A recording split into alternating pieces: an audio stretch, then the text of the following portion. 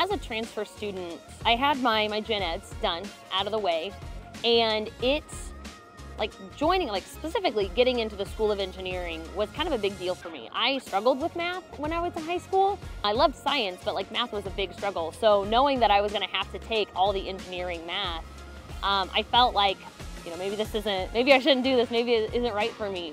But I very fortunately was able to, you know, find a group of classmates who also were like, you know, we can't do this alone, and just found people to study with. And the transition into ASU was really easy. My advisor was absolutely amazing, was very clear on like what credits transferred in, what didn't transfer in, what I was gonna have to take. I personally wanna thank my mom. She has been my biggest cheerleader from the get-go and also my oldest brother.